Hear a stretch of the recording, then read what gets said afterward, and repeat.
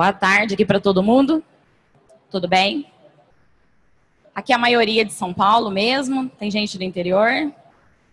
É, eu sou do interior também, né? Pelo sotaque, vocês vão perceber. Eu sou a Vicky, eu venho de uma cidade próxima a Ribeirão Preto, que é Brodowski, ninguém conhece. É uma cidade pequena de 23 mil habitantes, onde a gente tem que ser muito criativo para poder empreender e para poder seguir em frente. A minha pauta não é fazer aqui para grandes empresários, vamos abrir uma empresa, vamos ensinar a fazer financiamentos, vamos ensinar a fazer esse tipo de coisa, porque isso daí a gente tem o Sebrae já, o Sebrae vai fazer essa parte. A proposta aqui da palestra é empreender, mas empreender do zero, que eu acho que é o que acontece com a maioria. A maioria não tem dinheiro para investir, a... tem o desemprego que ficou grande, e o que fazer, então, para poder seguir em frente? O que fazer para poder inovar? A inovação, ela vem de acordo com a necessidade. E aí você tem que ser criativo.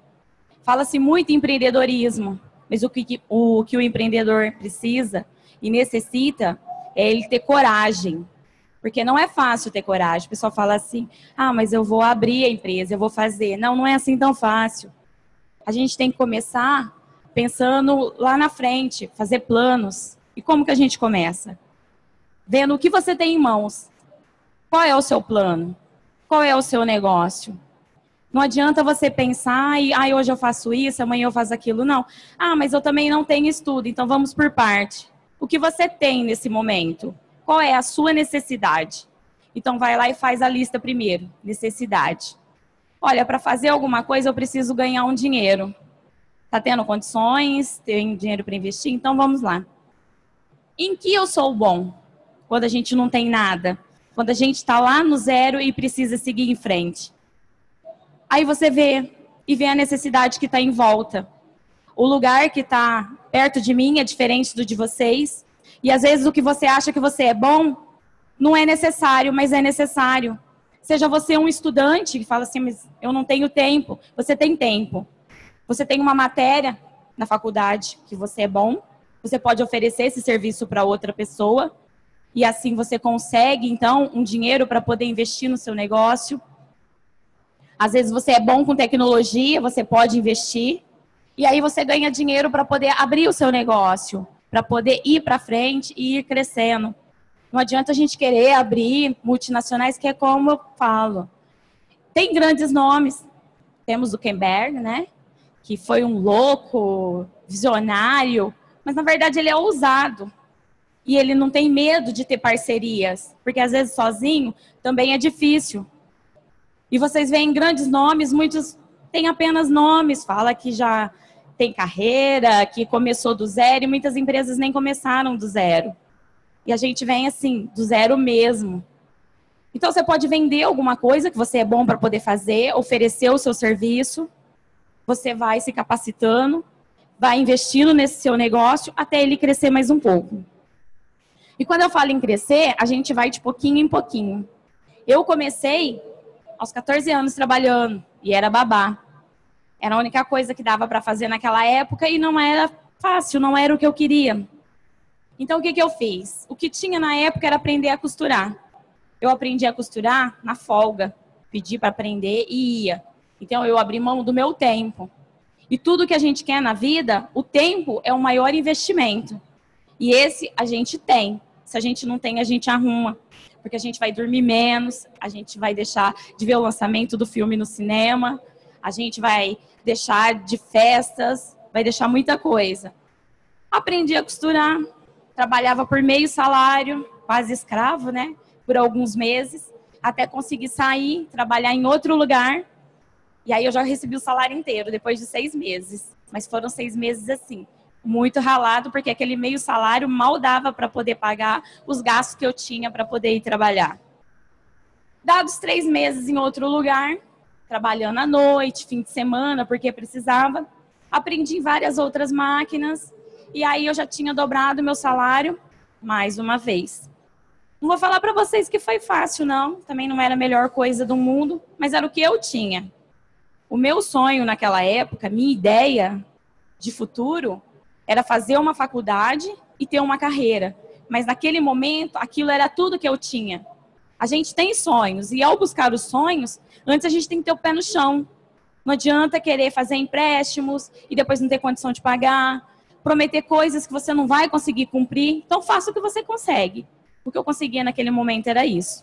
E foi assim por vários anos. Até porque estudar, há um tempo atrás, só estudava quem tinha condições financeiras, porque não era fácil você estudar. Hoje em dia, não. Hoje em dia, se você tiver força de vontade, você consegue. Num dos lugares que fiz estágio, o dono acabou fazendo, que antigamente era supletivo, né? Hoje já é EJA, ainda mudou. E ele disse que o que era dar para o ser humano, um pouco de boa vontade. Porque com vontade, ele chega longe. Mas é devagarzinho. É aquele passinho da tartaruga. Sem pausa e sem pressa. Porque não adianta querer correr, que aí você vai atropelar tudo. E vai se sentir depois despedaçado, sem conseguir seguir em frente. Que é onde gera muita depressão, desânimo. E aí a pessoa já não consegue fazer nada. E eu consegui estudar desse jeito. Continuei trabalhando numa coisa que não era o que eu queria, mas eu fui em frente. Até que eu consegui abrir uma oficina minha. Eu já não trabalhava mais para ninguém. Não que eu gostasse daquilo, mas aquilo fazia parte do meu crescimento. E é isso que a gente tem que fazer: olhar em volta e ver o que tem para esse momento. Porque o momento é o que a gente tem. Não adianta querer além, não adianta fazer planos futuros, mas você tem metas. O que eu tenho de meta até o final do ano, o que eu tenho de metas há cinco anos e o que eu tenho de metas no futuro. O meu futuro naquele momento, a minha linha do horizonte era me formar, eu queria uma beca e um emprego melhor e uma condição melhor para os meus filhos. Essa era a ideia daquele momento. Mas eu ainda estava há 12 anos daquele momento. Então demorou um pouco. Tem gente que consegue, principalmente em grandes capitais, é mais fácil acontecer. Mas no interior não é fácil acontecer. Ninguém acredita. Principalmente quando você busca que você ou é jovem demais, aí dizem que você não tem maturidade para o negócio, ou você já está velho demais para o mercado. Então, a gente não pode aproveitar. Infelizmente é desse jeito e temos que ter o pé no chão, que vai ter preconceito e não vai ser fácil porque todo mundo fala aquela linda história, né, do empreendedorismo, que vamos fazer planos, basta fazer os cálculos certinho, que em pouco tempo, não, em pouco tempo a gente não tem nada. Em pouco tempo, o máximo que a gente tem é um retorno daquilo que foi investido. E às vezes nem é tão pouco tempo assim, porque não temos uma indicação, não temos, você vem do chão, você cresce do nada. Eu consegui no futuro Continuei com a oficina na minha casa, continuei criando esses meus filhos nessa cidade do interior, que tem 23 mil habitantes, e que é mais difícil ainda, porque o preconceito é ainda maior. Me formei, consegui fazer química. Foram dois anos que eu passei muito apertada e dormindo duas horas por dia, três horas por dia, porque eu não podia me dar o luxo. Finais de semana era do mesmo jeito e você fica meio isolado, porque você não tem tempo para suas amizades, você não tem tempo para muita coisa, porque você tem o seu futuro. E você não pode perder de mente os planos que você tem. Você fez ali, você mantém eles, e tudo que você for se aperfeiçoando, você vai melhorando ele daí para frente. E eu cheguei na minha linha do horizonte, até agora formada, e aí consegui trabalhar na área mas foram 12 anos até chegar lá. Não foi fácil. Mas aquilo lá já não era mais o necessário. Foi seguindo em frente e eu quis outras coisas. E é assim que a gente vai tendo, um pé de cada vez. E nisso, o maior trunfo que eu tive foi estudar para poder empreender, para poder seguir em frente. Mas o que me deu mesmo força para tudo isso foi a coragem e a ousadia porque se você não tiver ousadia, você não segue em frente. Se você quer abrir um negócio, você não pode ter vergonha também de oferecer. E eu oferecia o que eu tinha no momento, o que eu era boa. E o que eu era boa no momento, muitas vezes, eram coisas assim que para outra pessoa era insignificante, mas para outras não. Principalmente voltado em tecnologia. Todo mundo tem alguém mais velho que precisa dessa ajuda, né? Então, vocês podem aí ser os netos de alguém ensinando eles nesse futuro para poder pegar e ensinar eles e ganhar o seu dinheiro. E é assim que vocês vão seguir em frente até vocês pegar e conseguir. e vão se aperfeiçoando e vão investindo. Podem fazer parcerias em tudo isso, que é importante isso, olhar à volta e ver, porque às vezes quem está sentado do seu lado é quem está com a resposta do seu problema. E aí você tem a solução. Como vocês veem, a história foi feita assim, de nomes, mas nenhum nome foi sozinho. Um nome ele subiu, mas junto com ele subiu as parcerias. E todos eles buscaram. Se eles não estudaram, eles buscaram alguém que havia estudado. Então, se vocês não são aqueles que estão aí para poder buscar, que são geniais, vê quem vocês vão. Ah, mas eu não tenho conhecimento nisso, mas a outra pessoa tem. Então, você pega a outra pessoa, você faz a parceria e abre o seu negócio. E o investimento, ele é feito assim. Nós temos aqui dentro da campus mesmo vários empreendimentos nesse mesmo sentido. Tem um rapaz do Sul que pegou a ideia de oferecer serviços que até então parecia insignificante, de brincadeiras do Sul e tudo, transformou ela em uma marca, abriu uma lojinha achando que isso não daria certo e no final das contas está vendendo e pagou meses do seu aluguel. Temos aqui dentro também nas nossas startups os créditos, microcréditos para pequenos empreendedores porque a gente tem que ter o pé no chão daquilo que a gente tem. Hoje eu posso gastar isso, então é isso que a gente vai gastar, é isso que a gente vai fazer. Então esse é o plano que você tem que fazer porque nós não temos quem vai investir na gente, porque nesse momento ninguém acredita. Mas se vocês desanimarem porque ninguém acredita e porque as oportunidades não acontecem, realmente nada vai acontecer. Há oito anos atrás, me disseram que seria impossível todos esses sonhos, digamos assim, que chamam os empreendedores de lunáticos, de sonhadores. E eles não são. Eles têm planejamento, eles tiveram metas e eles permaneceram firmes para poder chegar lá. Para chegar aqui hoje, disseram que eu não conseguiria. Disseram que seria impossível também. E, no entanto, eu permaneci firme. Mas não foi fácil. Eu vim fazendo vários estudos e fui investindo na carreira até chegar onde eu estou hoje aqui. E é assim que a gente faz, mas eu fiz várias parcerias. Eu peguei quem me ajudava, como na época que eu fui aprender. Ah, você me ensina no final de semana? Ensino. Olha, eu tenho um projeto, você trabalha comigo no final de semana? Trabalho, olha, esse projeto é assim, eu não consigo ele inteiro. Então você pega e me ajuda e você tem um negócio. Você não precisa ter um negócio físico muitas vezes. Você pode ter um negócio dividido em várias partes, mas que funcione inteiro. Mas não importa o que você está oferecendo. Pode ser um bolo que você sabe fazer bem. Vamos vender o bolo. Temos casos de casas de bolo que começaram assim, com aquele bolinho da vovó, que todo mundo gostava, e de repente virou um fenômeno que virou franquia, mas começou com aquele bolinho da vovó. Mas se a vovó tivesse aquela vergonha de oferecer aquele bolo, não teria virado aquela franquia. Hoje a franquia tem nome, hoje a franquia tem respeito, mas há um tempo atrás era apenas o bolo da vovó. É o que eu falo, é aproveitar a oportunidade e fazer bolo. Ela tinha que gastar? Não. Ela usou o recurso que ela tinha no momento. E aquele recurso no momento virou o quê? Virou um negócio de família, que hoje emprega todo mundo, que tem vários funcionários, que virou franquias. Então eu falo, não pensa que é pequeno o que você está pensando. E para poder fazer isso, você investiu um pouquinho. Deu certo? Vamos investir mais um pouquinho. Deu certo? Mais um pouquinho. E vai continuando a se capacitar até pegar e ter, seguir em frente e conseguir um grande negócio. E sem ter vergonha do que vocês têm, sem ter vergonha de oferecer aquilo que vocês são bons. Porque todo mundo é bom em alguma coisa. Eu não sei falar para vocês o que cada um vai ser bom, ou o trajeto de cada um eu só posso falar de mim e de histórias que eu vejo ao longo do tempo que deram certo. Umas histórias tão pequenas que a gente nem acredita.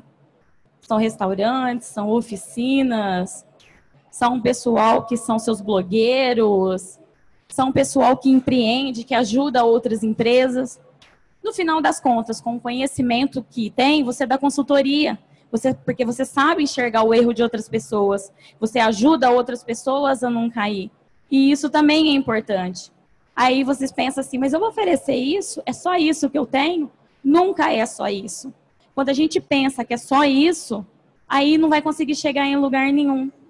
A parte mais importante do empreendedor não é ficar pensando como ele vai conseguir aquele capital que ele precisa, como ele vai fazer a coisa acontecer, mas é como eu posso fazer agora, sabe? É tipo aquele um dia de cada vez para poder conseguir. Fazemos o plano há cinco anos, mas nós temos um plano dia a dia do que vamos fazer. Se deu certo o negócio, negócio de cinco anos acontece em um ano. Mas se não deu certo, nós vamos continuar naquele planejamento inicial. Essa é uma proposta que geralmente ninguém fala. Todo mundo fala para você fazer um empréstimo, fazer ideias grandes, investir grandes coisas que precisa, não precisa. Você precisa só ter ideia. É estar tá ali, ó, olhando e ver realmente o que está do seu lado. Qual é a necessidade? De repente você está levando seu filho para a escola e acha que você não pode fazer nada mas você pode transformar isso num negócio e pegar outras crianças e ir levando. E você tenha lá um capital de volta, você tem dinheiro para poder investir numa coisa que você nem imaginava, às vezes nem era sua ideia. Então, ter ousadia, ter aquela determinação de quero fazer alguma coisa e eu posso fazer alguma coisa, é uma das coisas mais importantes para quem quer empreender. E não desanimar. Ah, mas vai dar errado? Muitas vezes vai dar errado. Porque temos inflações, temos um mercado que é difícil, nunca depende só da gente. Às vezes você abriu um negócio, alagou tudo, você não esperava que alagasse, ou aconteceu algum outro imprevisto, porque imprevistos acontecem, mas mantenha o foco.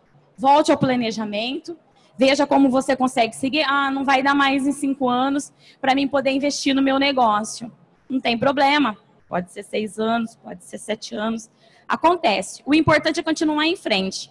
Porque se você desistir, você não vai saber se o seu negócio deu certo. E aí a gente vê os casos, é como eu falo, tem grandes nomes, tem pequenos nomes e tem gente que você nem conhece, mas que está dando certo. Que é o dono do armazém, é o dono da sorveteria. Ele começou aquela portinha pequenininha, porque aqui todo mundo conhece alguém que de repente tinha um carrinho de lanche, alguma coisa na porta da escola e agora falando, nossa, olha fulano, né? Tá bem? Começou com a marmita no, fim, no fundo de casa e agora tem aquele restaurante, sai entregando. Eu gosto muito daqui da Campus Party por isso. Porque o maior aprendizado que a gente tem é justamente isso, olhar a volta. Às vezes a resposta está no palco, às vezes a resposta está do lado, aí você sai, faz um comentário, a pessoa complementa e deu aquela luz. Ou então, te deu forças para poder seguir em frente. Então, pensa bem no negócio de vocês, pensa bem o que vocês querem fazer, para poder ver quem vai dar essa luz, ver quem vai dar parceria. Vocês estão aqui hoje no lugar certo para poder fazer isso. Eu me surpreendi ao vir para cá. Porque a, a proposta original da palestra seria um pouco diferente, mas de repente eu cheguei aqui e vi tanta mudança, tantos casos, de um pessoal que eu via um ano atrás e agora estão assim, com lindas histórias para poder contar.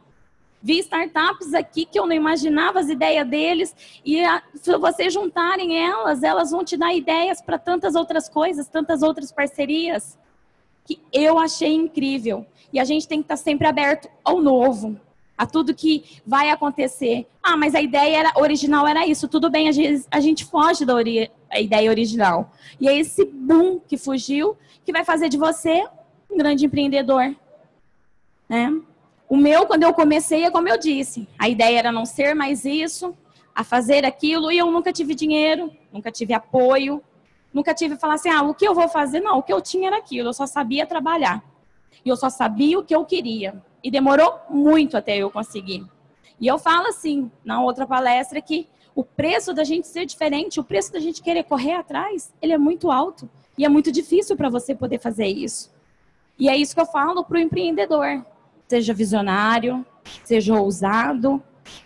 Vai lá, calcula bem o seu risco para você não passar uma necessidade, você não perder, não arrisque casas, não arrisque as coisas. Faça o que você pode fazer. Começa pequeno. Se hoje é um, é um. Se amanhã é dois, é dois. E vai assim até ser mil, até você ter outras pessoas em volta.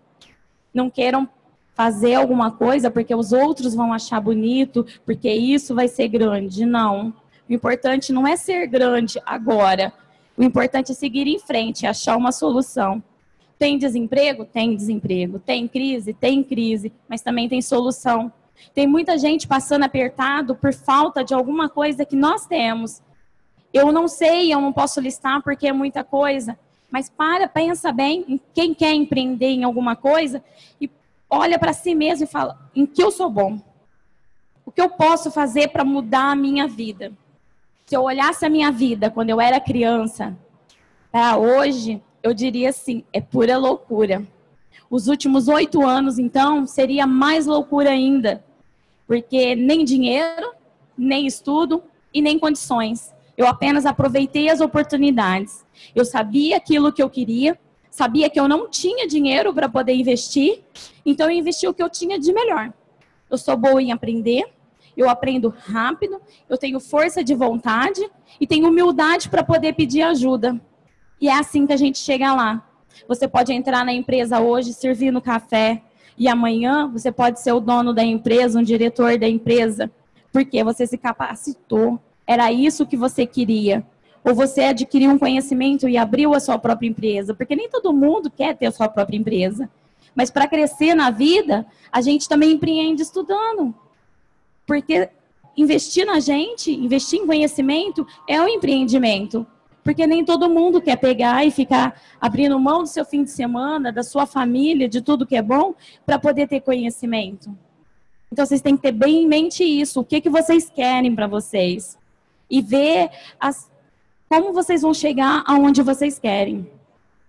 Porque ninguém vai dar um apoio, uma ajuda, falar uma palavra mágica que ah, você vai fazer isso. Não. Mas vocês vão conseguir chegar lá, desde que vocês queiram realmente. Aqui a maioria o quê? Quer empreender? Quer abrir um negócio? Qual é a ideia do pessoal? Ninguém tem ideia? Não?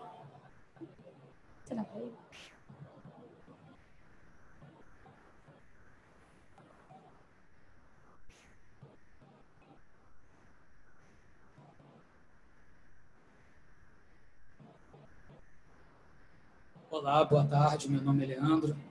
É, eu já estou empreendendo. Enfim, estou aprendendo com o seu, suas informações. E qual é o seu empreendimento? Hoje eu estou trabalhando na área de drones. Já tenho uma empresa, já tenho uma frota de equipamentos. Então, estou atuando na área de inspeção. Mas, obviamente, eu estou buscando o maior conhecimento possível na área de empreendedorismo, até porque eu não tenho esse esse know-how. Né? Meu know-how é mais operacional, é mais técnico. Mas para tocar a empresa, é, preciso reunir o máximo de informações. Eu venho estudando há cinco anos, né, e participando de eventos como este, para poder, é, vamos dizer assim, fazer o meu negócio crescer. Entendeu? Hoje eu estou como microempresário.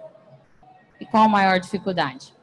maior dificuldade é essa, é de das grandes empresas ou pequenas e médias empresas é, abrir as portas, entendeu?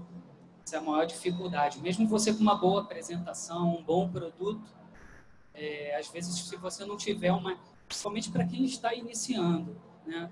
Não tem de repente um é, nenhum, é, na verdade tem um portfólio de serviços, mas de repente não executou um primeiro serviço. Né? E você não tem como demonstrar isso. Então, esse primeiro passo tem que ter coragem, tem que ter determinação, porque às vezes você chega na empresa e eles, é, às vezes você é até menosprezado. Né? Pô, mas como é que você quer entrar no mercado se você ainda não fez esse tipo de serviço, né? Esse primeiro passo é, fundamental. Eu, pelo menos, precisei fazer, sei lá, uns 10 trabalhos gratuitos para poder estar é, tá conseguindo é, gerar o meu primeiro faturamento. Né? Muitos trabalhos, muitas, muitas apresentações, até chegar a, a, ao primeiro faturamento. Então, essa primeira oportunidade é que é, que é o mais difícil. Entendeu? As pessoas ouvirem o que você tem para dizer, né? entender que você é capaz né, de entregar. Então, isso daí está sendo um desafio para mim, entendeu? O que ele falou é o que acontece com a maioria ou com todo mundo. O que ele passou, eu também passei e eu acho que muita gente passou.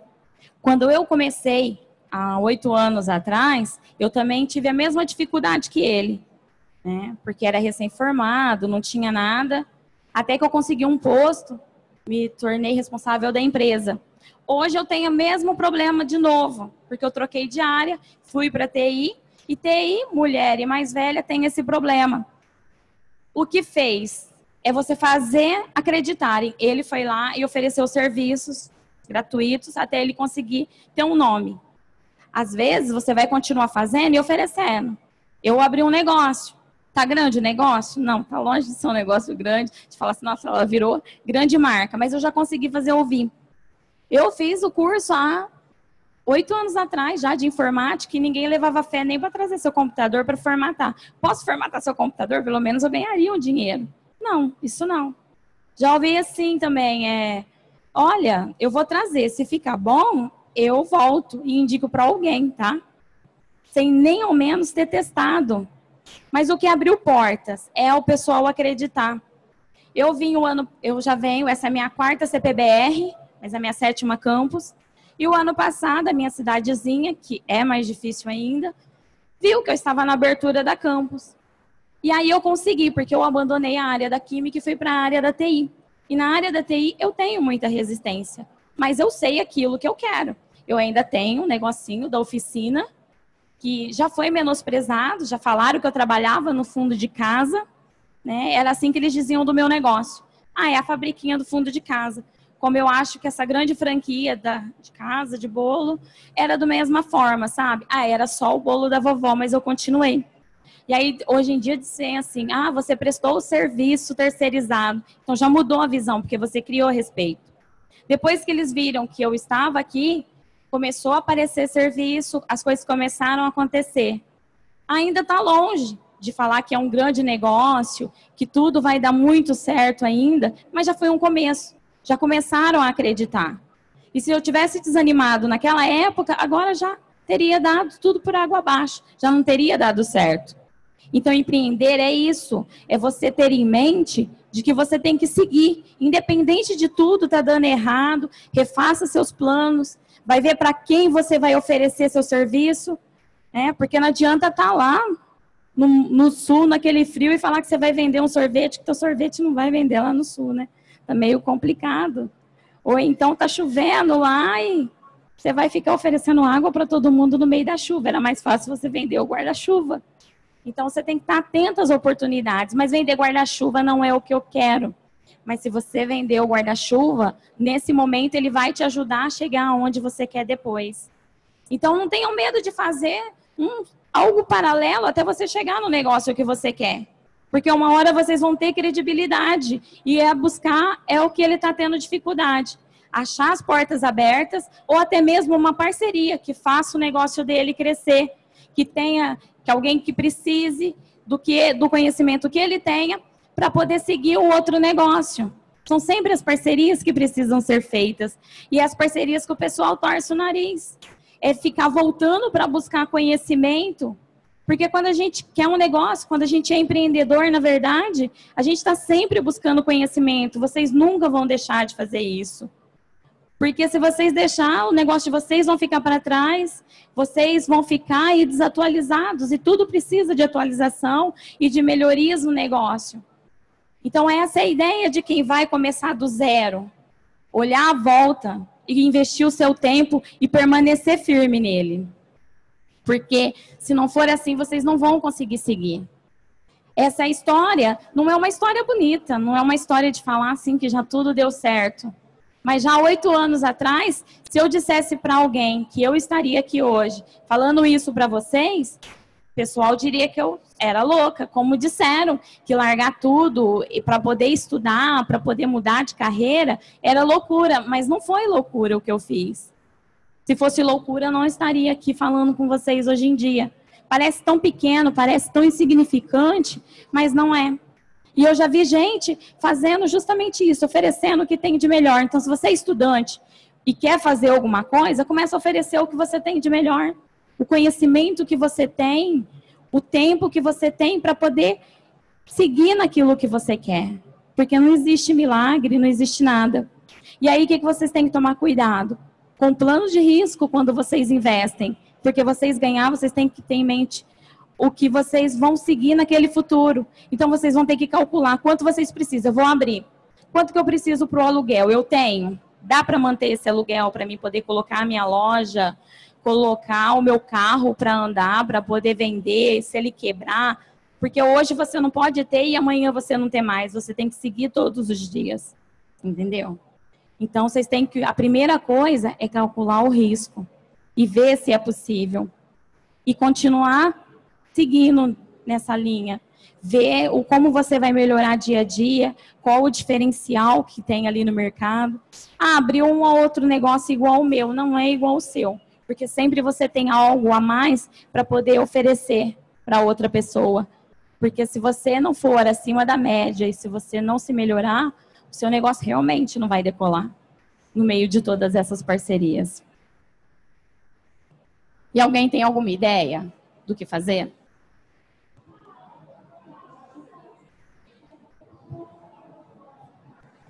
Olá, boa tarde. É, meu nome é Gabriel Valadão. É, você falou sobre a questão de começar do zero. Eu achei muito interessante isso. Eu vou contar uma breve história, a minha história. Eu só estou aqui hoje porque eu aprendi a dizer não. Eu, em 2015, passei no concurso da Marinha para o Colégio Naval. Eu fui para lá, morar em Angra dos Reis, estudei durante três anos, desde 2013. Era todo dia 40 quilômetros de casa uh, uh, até o cursinho. Eu chegava, acordava 4 horas da manhã, chegava a casa morto, meia-noite. E eu sempre ouvia dos meus pais: ah, você precisa fazer isso, você precisa fazer aquilo, a carreira pública é uma carreira boa, é uma carreira estável. Mas eu não me sentia satisfeito. Daí eu passei na prova, fui morar em Angra, aceitei o desafio e descobri em um ano e seis meses que aquilo não era para mim. Eu sempre fui muito questionador e no ambiente militar isso é muito complicado, você ser questionador. Eu perguntava, mas por quê? Mas por que, que tem que fazer isso? Por que, que tem que fazer aquilo? E eles diziam, porque tem, porque existem regras, porque é assim. Não, não é assim, me explica, eu quero saber. E eu não me contentei com aquilo. Até que um dia eu cheguei na sala da companhia e falei com o tenente, falei, tenente, eu vou pedir a baixa. Não, você não pode pedir baixa, você é um excelente aluno. Eu falei assim, eu estou pedindo baixa, eu estou saindo da Marinha. Saí, contra a vontade de toda a minha família.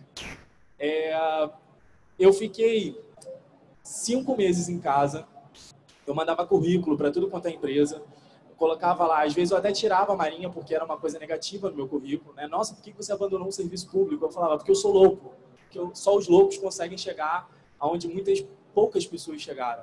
É, e ele falou assim, ele aqui do lado, é, a questão de chegar na empresa e ser recusado ou não ser aceito por uma ideia. Eu acredito que tem coisas que acontecem que é para acontecer. Eu fui aceito numa loja uh, que vende sapatos para vendedor, carro de vendedor. Eu ouvi muita gente da minha família falar assim: ah, mas você vai ser vendedor? Nossa, de militar você vai passar a ser um vendedor? Sim, vou passar a ser um vendedor. E está sendo a melhor experiência da minha vida, sabe por quê? Você aprende a lidar com pessoas e aprende que você tem o poder do convencimento, é o poder da manipulação. Como é que eu vou fazer essa pessoa levar esse produto? Qual é a utilidade para ela? O que, que ela busca através desse produto? E eu sempre tive um sonho de ter um site, de abrir um site de, uh, de estudos, de online e tal. E eu comecei a programar desde os oito anos. Eu sempre gostei. Meu primo fez curso de programação. Ele está até aqui comigo hoje. E eu só estou aqui porque eu entrei num, num sorteio aleatório da, do site da Endless e eu fui sorteado, ganhei dois convites. Eu estou vindo do Rio de Janeiro para cá. Eu passei, eu vou passar o dia todo hoje aqui. Aí uh, aprendendo diversas palestras, assistindo diversas coisas para investir nesse site, que, é, uh, que trabalha com EAD, que é um ensino à distância. Então, assim, quando eu falo hoje que eu tenho uma equipe de 11 professores que, sabe, dependem de mim, um moleque de 20 anos, né, que muita gente fala, ah, você não tem nem responsabilidade ainda, para gerenciar, para administrar uma equipe de pessoas que tem 40, 50 anos, aí 20 anos de estrada na carreira do magistério, então, tem gente que não acredita, mas eu só estou aqui hoje porque eu soube dizer não, eu soube aceitar críticas, eu soube ouvir, eu soube questionar, e isso muita gente não tem. Eu pergunto assim: você não pensa em estudar? Você não pensa em aprender outras línguas?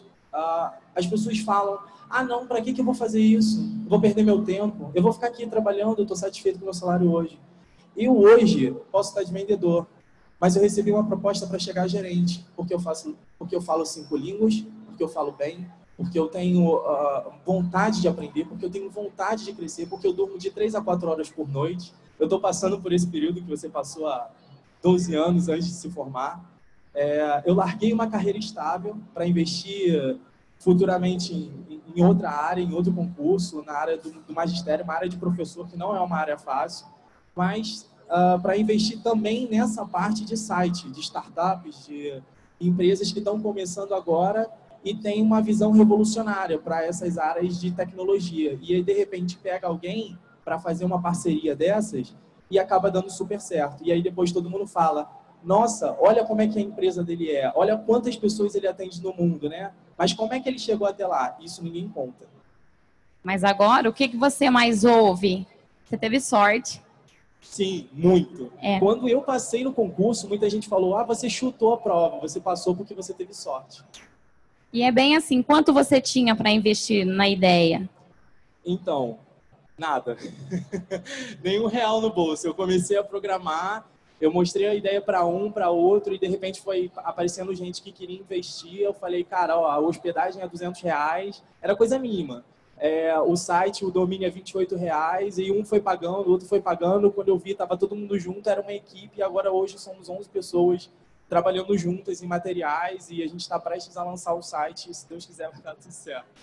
E aí foi aquele caso que eu falei, você sobre olhar para o lado, ver a oportunidade, abraçou as parcerias desses seus professores EAD, você gerencia eles ainda, mas tudo foi questão de ter o quê? Parcerias e acreditar que você podia, né? Foi bacana, muito obrigada.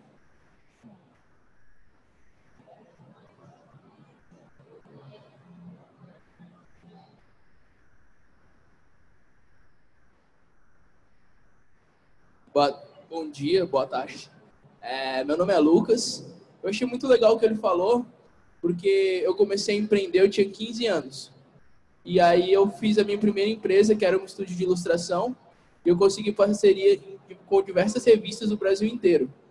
Com 16 anos, eu tinha estava ganhando bastante dinheiro, eu não sabia o que fazer e fali. Um ano depois.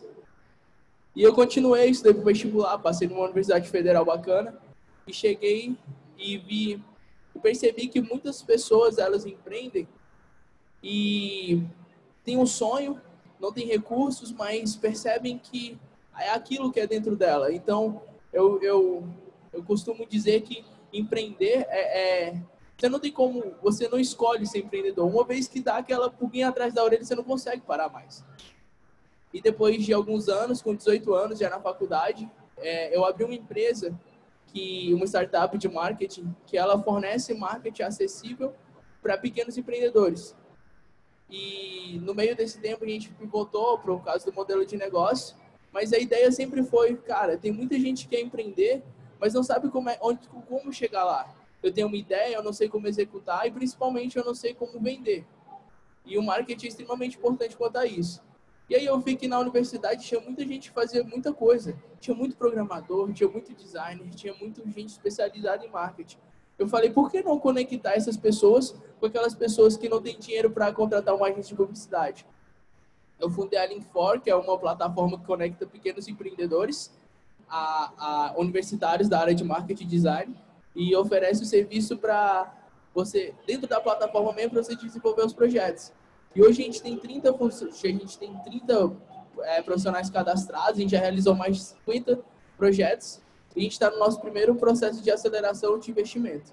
E o que é mais legal é que a gente vê nesse meio tempo que tem muita gente que, cara, era só isso que eu precisava, era só um marketing, agora eu estou começando a vender. Então, quando a galera começa a, quando a galera começa e fala, não sabe onde é que ir, vende Vender vai resolver muito dos seus problemas. Você tem que ouvir o seu cliente entender o porquê que ele, qual é a dor dele, por que ele, ele precisa daquilo. E vender resolve muito dos problemas que muita gente tem. E, e nem sempre isso é fácil. Obrigada. É o que eu falei. Todo mundo é bom em alguma coisa e ele vai oferecer para outra pessoa. Parece que tudo não, mas tudo está ligado a vendas, porque o que você tem de bom, você vai oferecer. E o que eu falo de parcerias foi o diferencial de cada um. E cada um continuou como ele. Fez cinco línguas. Ah, é bobeira? Não. Ele investiu em conhecimento.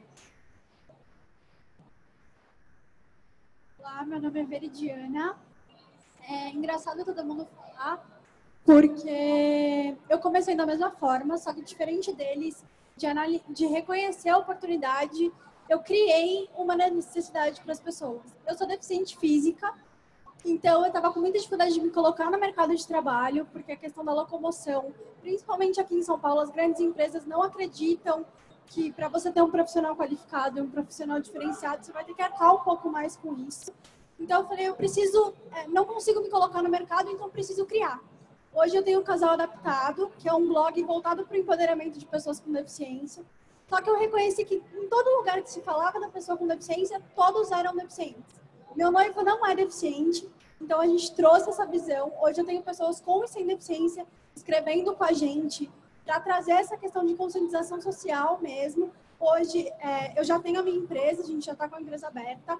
Meu objetivo de vida é home office, é levar esse sonho para outras pessoas e mostrar que é possível, independente de você ter ou não qualquer dificuldade, todo mundo, todo mundo tem problema aqui, todo mundo criou sua própria oportunidade. E é muito engraçado porque ele falou que ele é novo, eu tenho 23 anos e hoje estou trabalhando de casa, estou trabalhando com o meu sonho e já impactei milhares de pessoas. Então, acho que a partir daí, de você levar a cara a tapa, quando eu estive num evento onde eu era a única pessoa com deficiência e o palestrante hoje é o mentor do meu projeto. Foi aquilo que você falou. Se você não tem o conhecimento, busque alguém que tenha e que possa te amparar. Então, eu acho que as histórias se, se ligam aqui, né? Isso é fantástico. Porque empreendedorismo é justamente isso. Você ter a ideia, viu a necessidade do que tinha, viu o nicho lá e seguiu em frente, né? E não desanimou. Obrigada.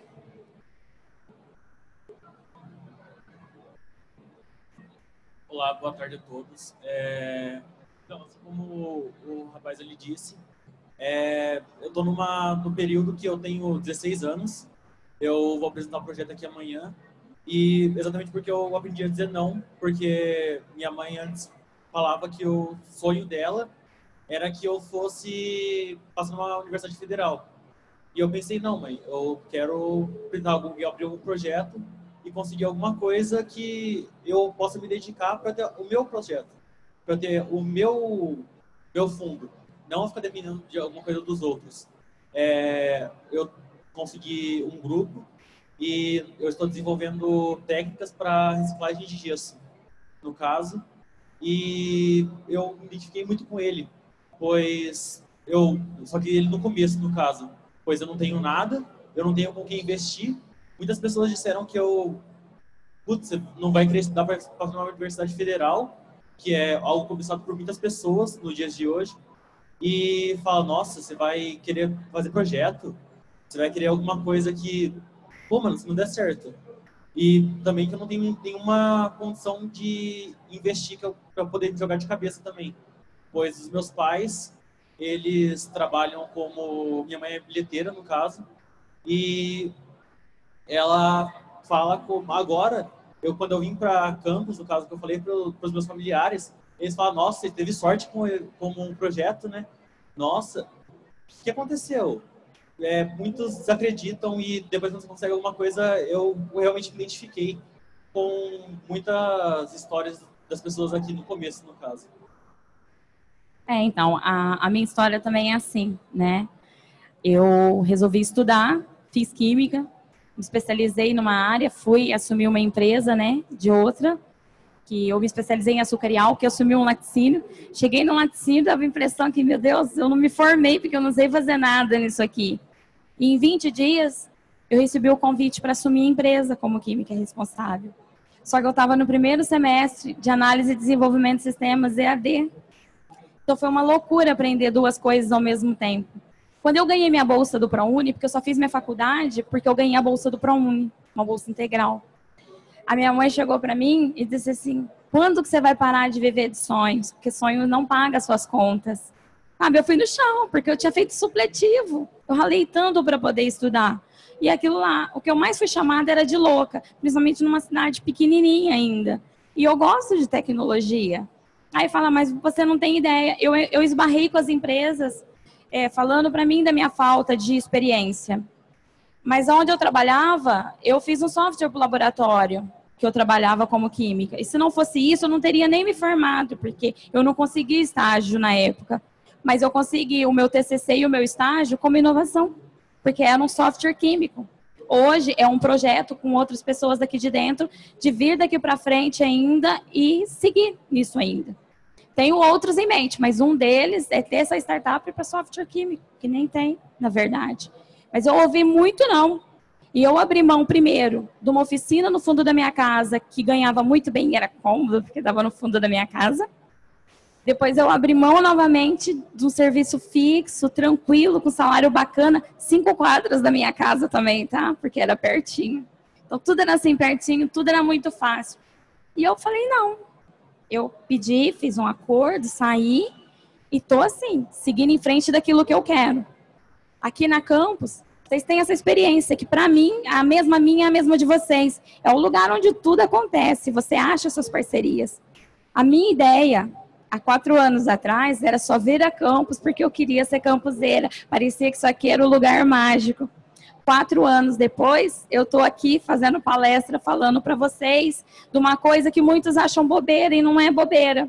Quando eu pensei na palestra, era bem justamente isso, sabe? Ter histórias para poder contar. Tem um pessoal que eu queria que tivesse aqui, mas não deu tempo deles virem. Esse menino do Sul é um deles, porque quando ele chegou contando da loja dele, que ele falou assim: eu fiz aquilo e agora foi lá e eu paguei o aluguel até abril. Cara, você se livrar do aluguel da tua loja até abril é muita coisa, foi um achado. Então essa é a ideia, não é para grandes empreendedores, porque aí já tem bastante, já tem muita gente falando. Mas era ver, falar para vocês, aproveitar a oportunidade que está do lado. E falar não para as pessoas é difícil. Principalmente quando é a família da gente para poder falar não. Porque eu passei também por tudo isso. Hoje em dia só não entra muito dinheiro. Mas hoje em dia eu já tenho credibilidade. Você tendo credibilidade, eu já estou com meio caminho andado daqui para frente. Agora eu digo, você vai na Campus Party? Eu vou na Campus Party. Mas eu vou fazer uma palestra na Campus Party. Tem gente que diz, ah, mas vai falar disso? Sim, porque cada um tem uma necessidade e isso faz a diferença, como eu já ouvi de outras pessoas. Eu cheguei aqui começo do ano passado desanimada Aí ouvi do Dad Schneider, quem se preparou vai achar o seu lugar em fevereiro. Nossa, ele me tirou do chão e me jogou lá em cima. E o meu lugar acabou virando uma palestra e oportunidade de trabalho que foi aparecendo, mas tudo assim, empreendendo, porque eu não achei nada que fosse. Eu nunca me imaginei. Empreender eu sempre tive na veia, eu acho que pela fato de ser ousada, né? Eu nunca tive medo. Né? Do chão ninguém passa. Né? É, é, são sempre riscos calculados, é o que eu falo. Você saber um passinho de cada vez, que se você cair, você não caiu de tão alto. E às vezes a gente cai, a gente acha parceiros que estavam ali atrás também. E isso é muito importante. E a ideia que eu tinha era justamente isso. Eu agradeço cada um aqui, sabe, por ter contado a sua história, porque faz diferença. E lá na frente eu posso contar a história de vocês, porque é mais gente fazendo fila com as histórias que deram certo. E foi uma honra ter estado aqui com vocês e muito obrigada pela atenção.